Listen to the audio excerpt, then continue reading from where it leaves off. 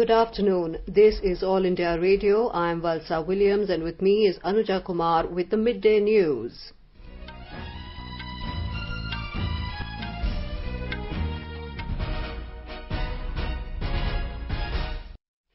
The headlines Rajya Sabha passes Insolvency and Bankruptcy Code Second Amendment Bill 2020. Bill temporarily suspends initiation of corporate insolvency resolution process under the code.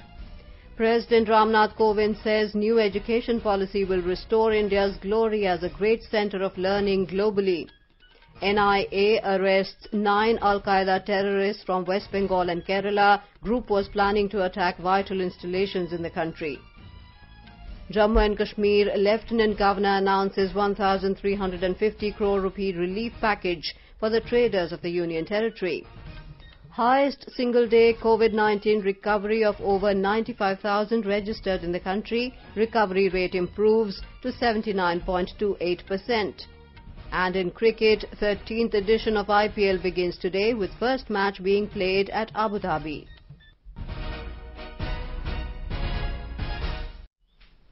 The Rajya Sabha today passed the Insolvency and Bankruptcy Code IBC Second Amendment Bill 2020. It amends the Insolvency and Bankruptcy Code 2016, which provides a time-bound process for resolving insolvency in companies and among individuals. Finance Minister Nirmala Sitharaman moved the bill. Insolvency is a situation where individuals or companies are unable to repay their outstanding debt. The bill seeks to temporarily suspend initiation of corporate insolvency resolution process CIRP under the code. It replaces the Insolvency and Bankruptcy Code Amendment Ordinance 2020 promulgated in June this year. The bill provides that for defaults arising during the six months from the 25th of March this year, CIRP can never be initiated by either the company or its creditors. The central government may extend this period to one year through notification. Replying to the discussion, Finance Minister Nirmala Sitharaman said that insolvency and bankruptcy is a significant part of business and it is helping the companies and people to resolve the issues without going to NCLT. She said amendments were brought due to the COVID-19 situation to give immunity to business from insolvency proceedings in this critical situation. IBC is such a critical part of business now it is important for us to understand from various different angles how IBC has performed. But one concrete example is I want to quote on the NPAs of scheduled commercial banks which have been recovered through various channels. IBC is actually serving the purpose of making sure resolutions are offered although it's a insolvency and bankruptcy code it ensures that most of the resolutions are happening to make the company as a going concern only rather than liquidated. Giving the comparative analysis of the recovery made by the Lok Adalat, SARFAESI and IBC in 2018-19, she informed, IBC has ensured 42.5% of recovery in the sense amount recovered is 70,819 as opposed to 1,66,600 as amount involved which came to the IBC and this pertains to only 2018-19 which are provisional figures on the employment front, she said 258 companies were rescued under the IBC mechanism. Initiating the discussion, Vivek Tankha of the Congress questioned several provisions of the bill, urging that these must be reviewed for the interest of the public. He said some of the provisions will benefit big companies and prove to be detrimental for small companies, including MSMEs. FDI inflows of 2,883 crore rupees have been reported in defence and aerospace sector through automatic route till June this year. This was stated by the Minister of State for Defence Shripad Naik in a written reply in the Rajya Sabha today. He said FDI inflows of 1,849 crore rupees have been reported in defence and aerospace sectors after 2014 through automatic route. Replying to another question, Mr. Naik informed the Defence Ministry has signed a contract for modernization of airfield infrastructure phase 2 on the 8th of May this year. Rajya Sabha Chairman M. Venkaiah Naidu has held a meeting with the Union Home Secretary, Joint Secretary of Health and Family Welfare and DG ICMR today on measures to ensure the health security of MPs during the pandemic.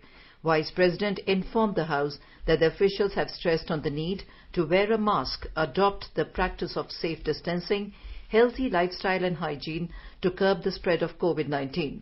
The chairman said these measures are important to contain the pandemic and urged the members to keep six feet distance and other measures in mind while attending the ongoing monsoon session. He also informed that antigen and RT-PCR tests are available in the Parliament premises for the members of the Parliament. The chairman also asked them to avoid meeting with them and try to write to him as much as possible about their issues. Earlier, the House paid obituary reference to the passing away of former member Nazneen Farooq and observed a two-minute silence. The Rajya Sabha today passed the Epidemic Diseases Amendment Bill 2020. The bill amends the Epidemic Diseases Act 1897 to include protection for healthcare service personnel combating epidemic diseases and expands the powers of the central government to prevent the spread of such diseases. The bill repeals the Epidemic Diseases Amendment Ordinance that was promulgated in April this year. The legislation makes harm, injury, hurt or danger to the life of healthcare service personnel as a cognizable and non-bailable offence. It has provisions of imprisonment from three months to five years and a fine between 50,000 rupees to 2 lakh rupees. Speaking on the bill, Health and Family Welfare Minister Dr. Harshvardhan said the ordinance was brought in view of the attack on the healthcare workers and the country felt the need to bring strict legislation to check such incidents in the COVID-19 pandemic situation. He informed that the government is working on the National Public Health Act and 14 states have sent their suggestions in this regard. The House also negated the resolution moved by Binoy Vishwam of CPI and K.C. Venugopal of Congress demanding disapproval of the ordinance related to the bill. Earlier, initiating the discussion, Neeraj Dangi of the Congress questioned the government, alleging that unplanned lockdown has adversely affected the country's economy, employment and lives of migrant workers. He also accused the government of delaying in response against the COVID pandemic. Another party leader, Anand Sharma, said the states must be included in the major consultative process while framing the rules. Rajya Sabha has been adjourned for the day. The country today registered the highest single-day recoveries of 95,880 COVID patients. Health Ministry said the recovery rate of COVID-19 has further improved to 79.28%. The total number of recoveries has reached over 42 lakh. Of the new recovered cases, about 60% are being reported from five states, Maharashtra, Tamil Nadu, Andhra Pradesh, Karnataka and Uttar Pradesh. The ministry said India has overtaken USA and become the number one in terms of global COVID-19 recoveries. The constantly increasing recoveries have ensured that the actual caseload of the country is reduced and currently comprises only 19.10% of the total positive cases. Presently, the total number of active cases in the country is 10 lakh 13,000. In the last 24 hours, 1,247 deaths were reported, taking the toll to 85,619. India's COVID-19 tally has crossed 53 lakh, with 93,337 new infections being reported in a day. The top five states with the maximum caseload are Maharashtra, Tamil Nadu, Andhra Pradesh, Karnataka and Uttar Pradesh. According to the Indian Council of Medical Research, more than 8 lakh 81,000 tests were conducted during the last 24 hours. The total number of samples tested so far has gone up to over 6 crore 24 lakhs. Telangana reported 2,123 fresh COVID-19 cases during the last 24 hours, taking the number of cases reported so far in the state to 1,69,169. The state conducted over 54,000 tests yesterday. The recovery rate also slightly improved to 81.28%, with 2,151 more people recovering yesterday. This took the number of recovered people so far in the state to 1,37,508. In Maharashtra, a two-day Janta curfew called by the Civic Administration of Nagpur received a mixed response with many shops closed and scanty traffic on the roads. In view of the rising number of coronavirus cases in the city, Nagpur Mayor Sandeep Joshi called people to take part in the two-day Janta curfew which started today. The curfew has been receiving mixed response from the people. The curfew will continue till Sunday night. The mayor has urged citizens to follow Janata curfew every Saturday and Sunday of the month to contain the spread of coronavirus. Though no official communique has been issued in this regard, this is purely a voluntary initiative, said Municipal Commissioner Radhakrishnan. The Gujarat High Court yesterday refused to mediate in the issue of reducing fees of private schools due to the pandemic, State Education Minister Bhupendra Singh Chudasama said the government will take suitable action after studying the High Court judgment. More from our correspondent. In a judgment pronounced yesterday, the Gujarat High Court told the state government to take an independent decision as it has wide powers. The government had filed an application seeking the court's direction after the Federation of Self-Finance Schools refused to accept the proposal of a 25% cut in the fees. The division bench said that there was no need for the court to function as an arbitrator as the government has substantial powers under the Disaster Management Act and the Epidemic Disease Act. Now the ball is again in the government's court as self-finance schools and parents associations are sticking to their stand. Yogesh Pandya, AIR News, Ahmedabad. The Sikkim government has ordered a complete lockdown in Gangtok municipal area from 21st to 27th of September due to a spike in cases in the city. All passenger and vehicle movement except those involved in essential services will be prohibited. Meanwhile, three cabinet ministers and two BJP MLAs have tested positive for COVID-19.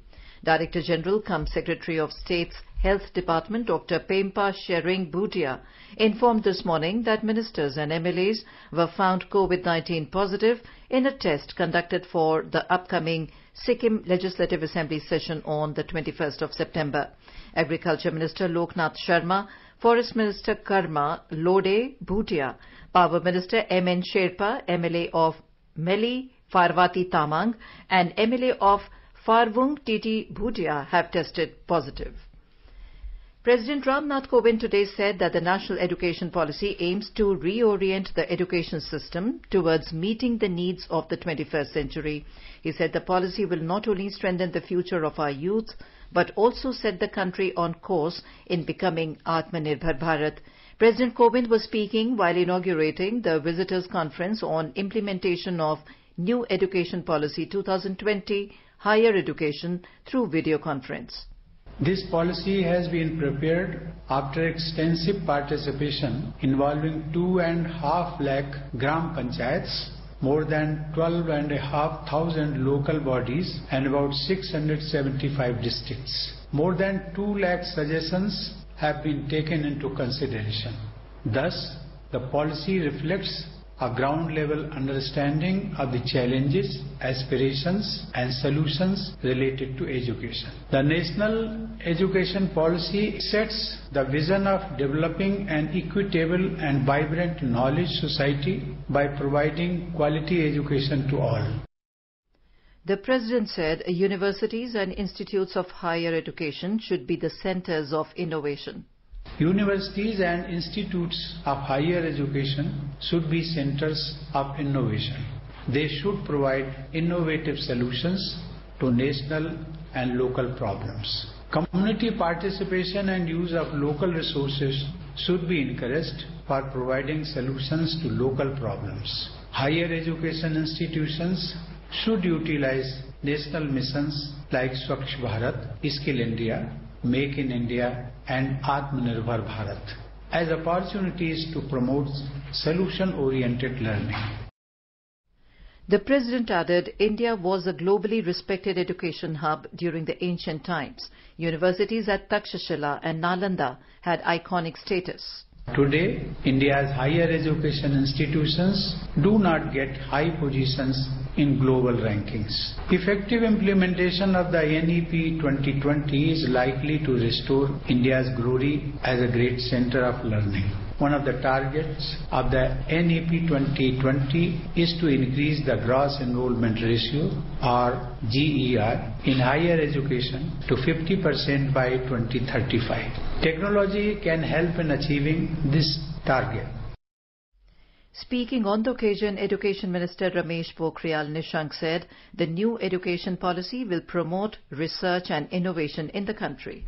नई शिक्षा नीति 2020 कौशल प्रशिक्षण तथा संरचनात्मक, कार्यात्मक सुधारों व गुणवत्ता शिक्षा के सार्वभौमिक पहुँच प्रदान कर भारत की निरंतर प्रगति समृद्धि, सामाजिक न्याय, समता, वैज्ञानिक उन्नति, राष्ट्रीय एकीकरण और सांस्कृतिक संरक्षण का मार्ग प्रशस्त कर विश्व मंच का नेतृत्व करेगी You are listening to the midday news on All India Radio. A reminder of the headlines before we move on. Rajya Sabha passes Insolvency and Bankruptcy Code Second Amendment Bill 2020. Bill temporarily suspends initiation of corporate insolvency resolution process under the code. President Ramnath Kovind says new education policy will restore India's glory as a great center of learning globally. NIA arrests nine Al-Qaeda terrorists from West Bengal and Kerala. Group was planning to attack vital installations in the country. Jammu and Kashmir Lieutenant Governor announces 1,350 crore rupee relief package for the traders of the Union Territory. Highest single-day COVID-19 recovery of over 95,000 registered in the country.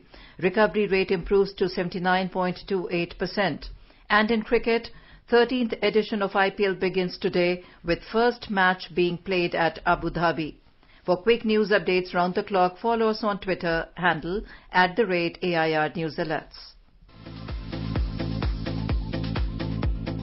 All India Radio presents World News. News and views from across the globe. What happened? What is up next? The newsmakers and the highlights of the day. Every day at 10:20 p.m. in the night on 100.1 FM All India Radio.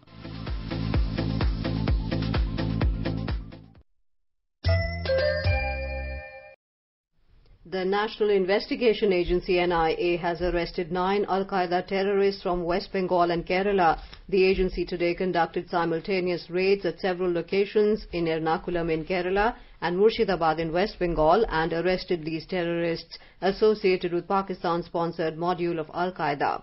Six terrorists were arrested from West Bengal and three from Kerala. In a statement, NIA said the group was planning to undertake terrorist attacks at vital installations in India with an aim to kill innocent people and strike terror in their hearts.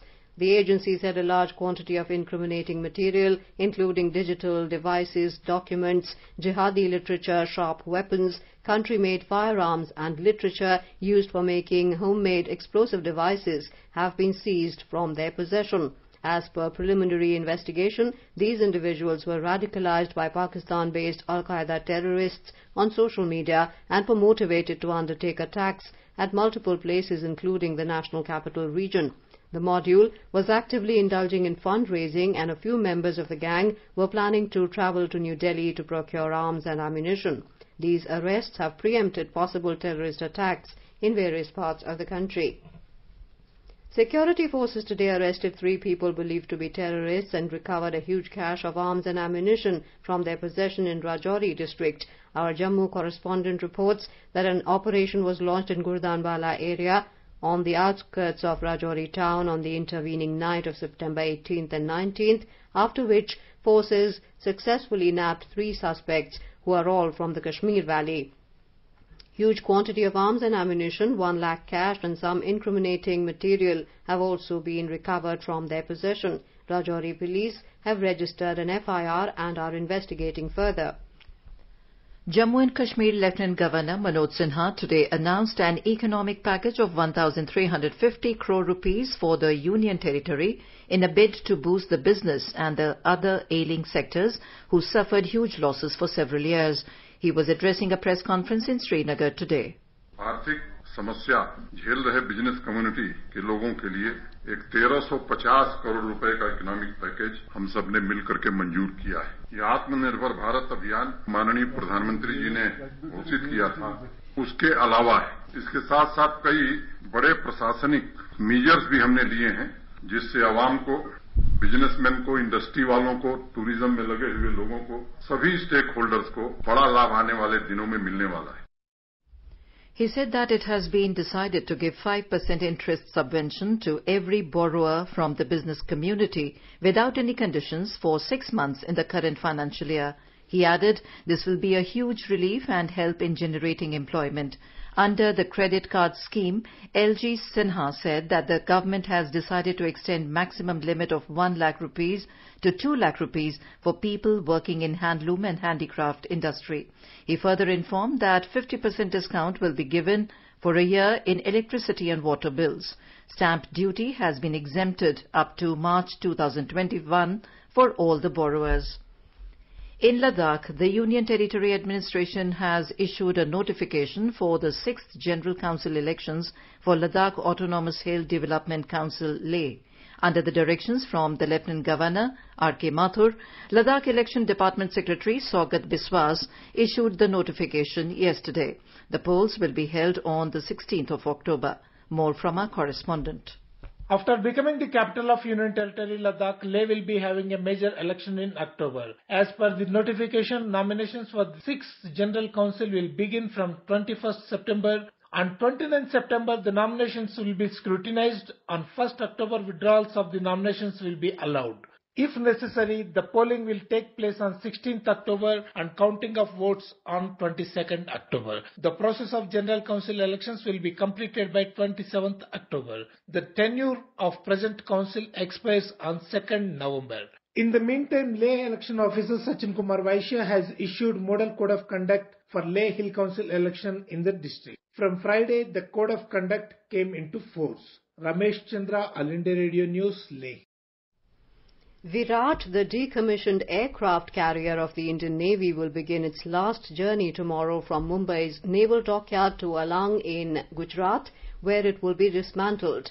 The vessel had served the Indian Navy for 30 years before being decommissioned in 2017. There were attempts to convert Virat into a museum or a restaurant, but none of the plans materialized. The aircraft carrier will be towed by the high-capacity tugs owned by Shriram Group, the company that has won the bid to dismantle the ship. The journey will be completed in two days. India and Bangladesh have agreed to resume joint coordinated border patrolling to reduce criminal activities like smuggling of cattle, weapons and narcotics on the border. The decision was taken during the 50th DG level conference of the border guarding forces of India and Bangladesh, which concluded in Dhaka today. A joint record of discussion was issued on the final day of the conference, recognizing the increasingly violent attacks on the border guarding forces, both the countries have agreed for real-time sharing of intelligence on smuggling syndicates and list of smugglers to ensure the India-Bangladesh border remains peaceful and secure. Both the countries have agreed to take effective steps for the prevention of human trafficking and illegal crossing of the international border Bangladesh reassured India that it will not allow any Indian insurgent groups to use its soil for anti-India activities. India and Bangladesh also have agreed not to undertake any development work within 150 yards of IB without prior information. It was agreed that the next round of the DG level conference will be held at Guwahati, preferably within the second week of November. The four-day conference of the border guarding forces of India and Bangladesh was convened in Dhaka between September the 16th to 19th to discuss issues related to India-Bangladesh border management and security. The six-member BSF delegation was led by its DG Rakesh Asthana. The Bangladesh side was led by the DG BGB Muhammad Shafinul Islam. Prime Minister Narendra Modi will address the high-level meeting to mark the 75th anniversary of the United Nations and the general debate next week. The annual session of the UN General Assembly begins in New York on September the 21st with a high-level meeting to commemorate the 75th anniversary of the United Nations. To mark the historic occasion, the 193 UN member states will adopt a forward-looking political declaration negotiated through an intergovernmental process on the theme of the future we want, the United Nations we need, reaffirming our collective commitment to multilateralism. Prime Minister Modi will address this special event through a pre-recorded video statement. The general debate will commence on September the 22nd and will continue till September 29th. PM Modi will also deliver the national statement on September the 26th through a pre-recorded video statement. The vision Prime Minister Modi outlines at these two high-level meetings will be closely watched as it comes ahead of India taking a seat at the powerful UN Security Council as an elected non-permanent member for a two-year term beginning January 1, 2021. Last year, Prime Minister Modi had travelled to New York to attend the high-level annual General Assembly session after addressing a mega diaspora event, Howdy Modi, held on September the 22nd. This year, for the first time in the UN's 75-year history, heads of the state and government will not be arriving in New York for the General Assembly due to the ongoing pandemic. They have submitted pre-recorded video statements that will be played in the iconic General Assembly Hall. United States has banned the download of Chinese app TikTok and use of messaging and payment platform WeChat saying they threaten national security. The ban will come into effect from tomorrow night.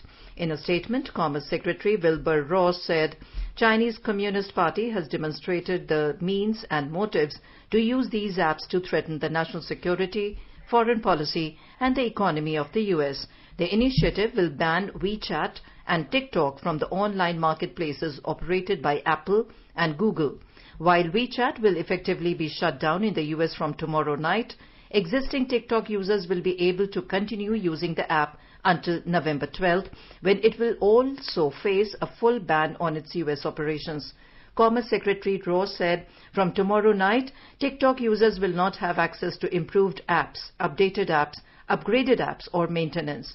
TikTok has slammed the decision and vowed to fight the Trump administration's ongoing crackdown on the company. It said the ban impedes a tool for entertainment, self-expression and connection. On to sports now. After a long wait, cricket stars will be in action at the 13th edition of Indian Premier League at Abu Dhabi in the United Arab Emirates today. The fans will have a lot to cheer as Rohit Sharma-led Mumbai Indians will take on Mahendra Singh Dhoni-led Chennai Super Kings in the opening match of the IPL. The tournament, which has been shifted to the UAE due to the COVID-19 pandemic, is a TV-only event. In all, 60 matches will be held in three venues, Abu Dhabi, Sharjah and Dubai. All the participating teams have arrived in the UAE to fight it out at a neutral venue away from their home conditions. The organizers have ensured adequate safety arrangements are in place, creating bio bubbles. The idea is to prevent coronavirus cases. The matches will continue for the next 53 days. India's Rohan Bopanna and Denis Shapovalov of Canada bowed out of the men's doubles event of the Italian Open tennis tournament in Rome. They lost to the French duo of Jeremy Chardy and Fabrice Martin in quarterfinals. The unseeded Indo-Canadian pair fought hard before going down 6-4, 5-7, 7-10 to the French combination in the tiebreaker yesterday. Top seeds Novak Djokovic and Rafael Nadal advanced to the quarterfinals of the Italian Open with straight set wins yesterday. Djokovic beat his fellow Serb Filip Krajinovic 7-6-6-3 while Nadal won 6-1, 6-3 against Dusan Lajovic, also of Serbia. In the women's draw, top seed Simona Halep of Romania beat Ukraine's Diana Yastremska 7-5, 6-4. Second seed Karolina Pliskova of the Czech Republic also met little trouble in her 6-4, 6-3 win over Russia's Anna Blinkova. Now let us take a look at the weather update for the day. The national capital Delhi will have a partly cloudy sky. The minimum temperature recorded in the city was 28 degrees Celsius and the maximum will be around 38 degrees. Mumbai will see a generally cloudy sky with moderate rain. Chennai is likely to see a generally cloudy sky with light rain or drizzle. Kolkata may have a partly cloudy sky with one or two spells of rain or thunder showers. The minimum temperature was 28 degrees Celsius, while the maximum is likely to be around 35. In the Union Territory of Jammu and Kashmir, the minimum temperature was recorded at 25 degrees Celsius in Jammu, while the maximum will be around 36 degrees.